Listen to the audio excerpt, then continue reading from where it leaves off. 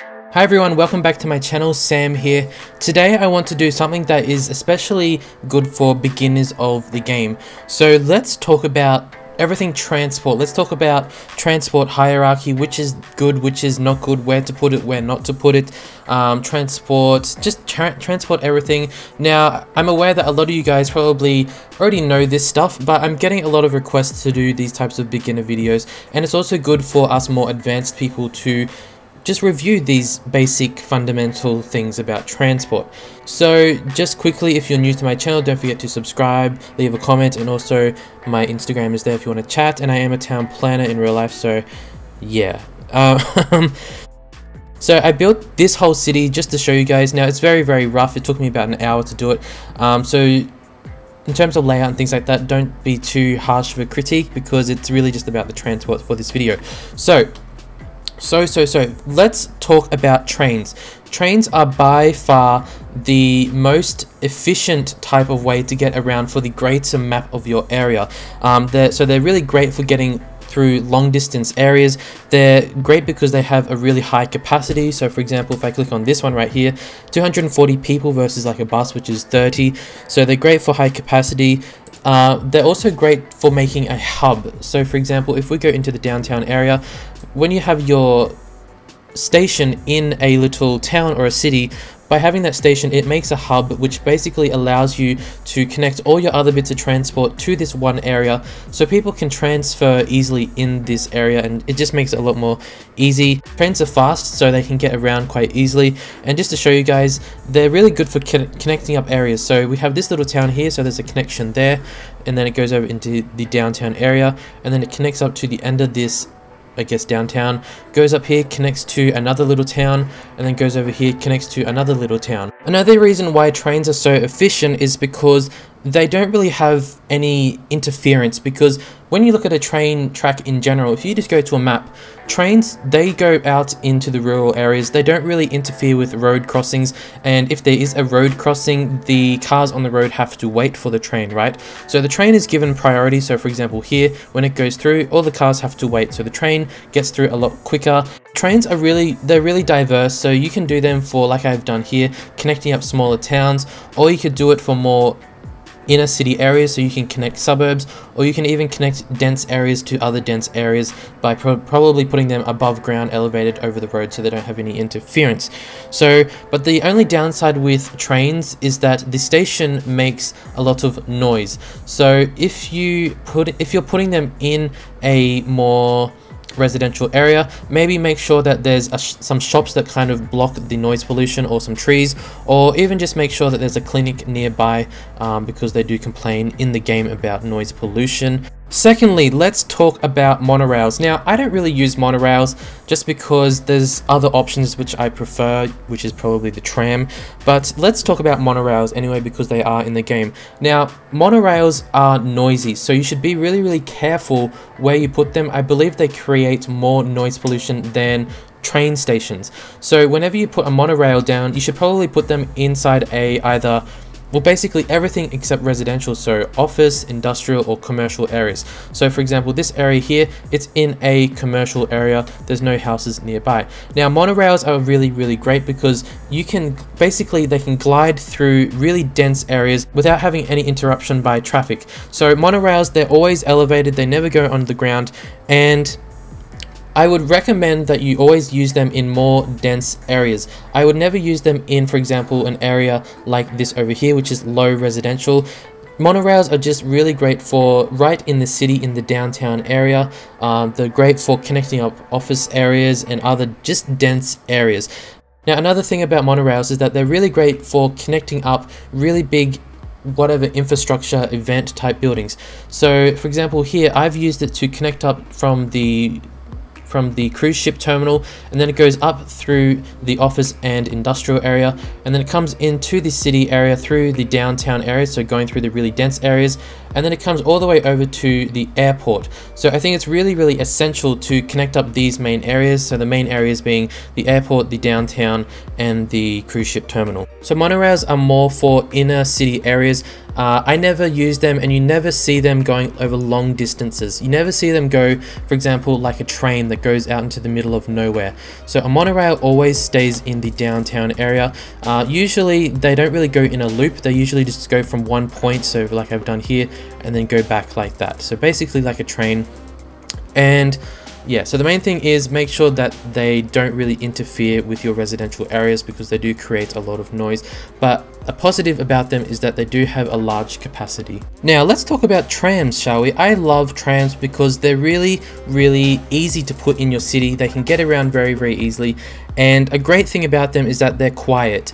Um, and you can put them basically throughout your whole city and they just go on the street, but you can also disconnect them from your streets and make them go basically anywhere.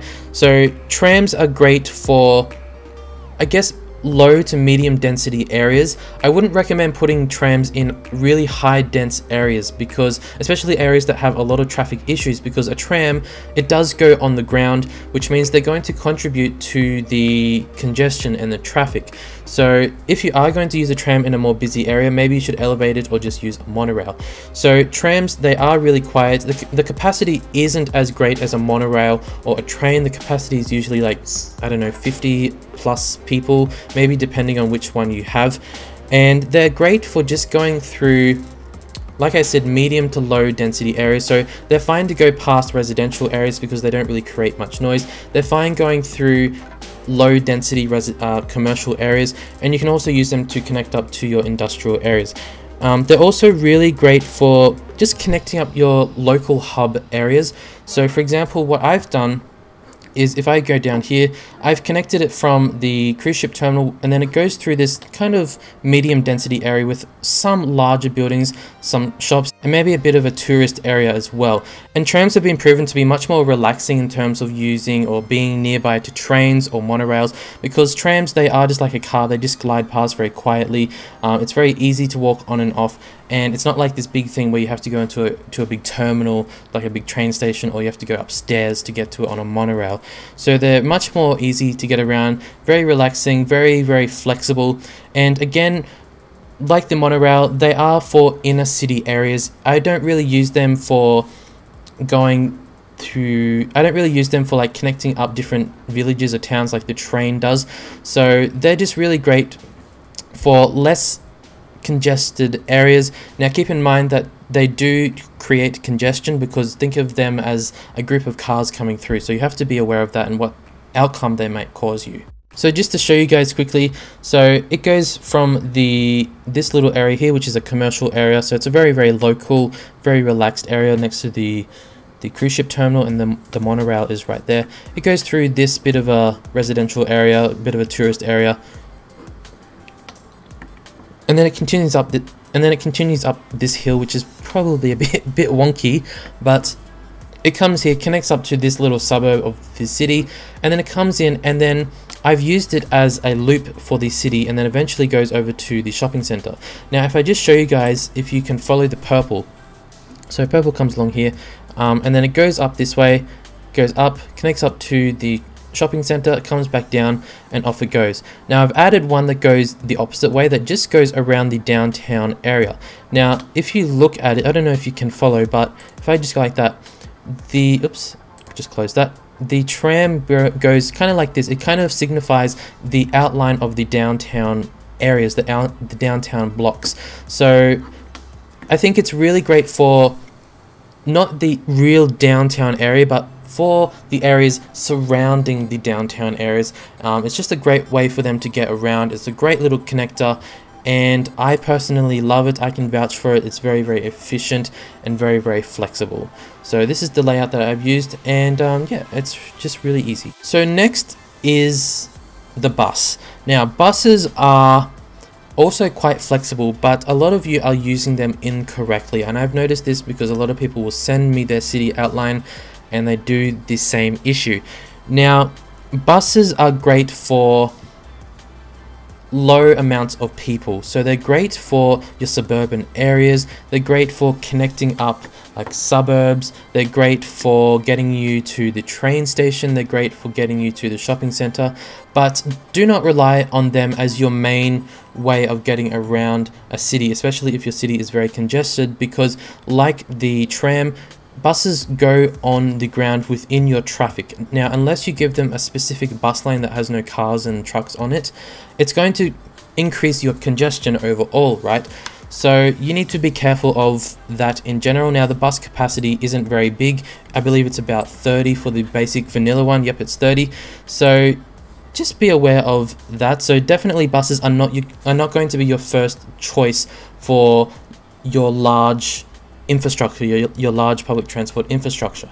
Now, just to show you how I've laid it out, the buses are great for doing little loops. So if we go over here, so the monorail will come along, there's a station right here. Now the people can just get off and they can go on the local bus loop. Now this, obviously I wouldn't do a bus loop in a such a small radius like this, but this is just an example.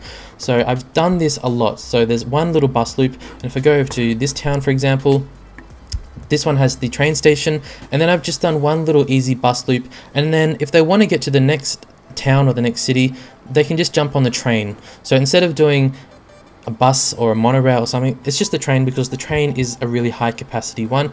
Now buses are sometimes good for long distance, but as long as it's going from one small area to another small area. So for example here, we have this small area, and then we follow along the green line, which goes to this little area here, which has its own little bus loop. So I would not put a monorail here. I would not put a tram because this is such a small area. A bus is really suitable because the population over here is just very, very small. What is it? I'm, I'm assuming it's just a few hundred. Okay, it's actually a thousand, but I've also done the same for over here as well. So going from this point, which is the ferry, uh, which is the cruise ship terminal, going up to this town here, I would not put a monorail or anything else besides a bus going up here. So I've actually put in a bus, if I just show you guys quickly. So it goes up through here. It's a very, very relaxed area. There's not much traffic. It's not really busy. So you can get away with just putting a bus and then it goes up here and then there's their own little bus loop as well. You go over here, the same thing happens. Connected by the train, then there's a little bus loop as well. So instead of doing a bus line that goes from here into the city, they can just rely on the train because the train is going to be frequent. The train has a really high capacity.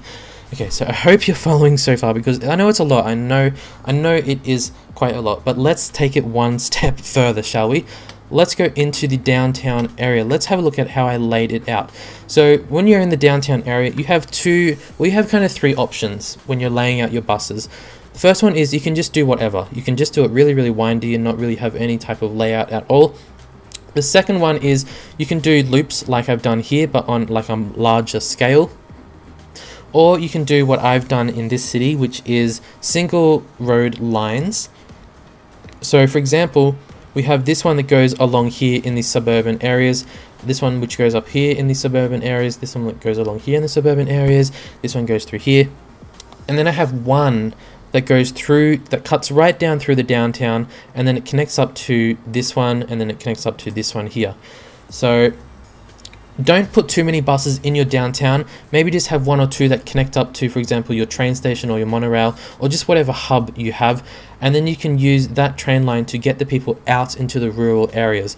So, so buses are more for your rural areas. They're more for suburban areas. They're not really great for high capacity, busy areas.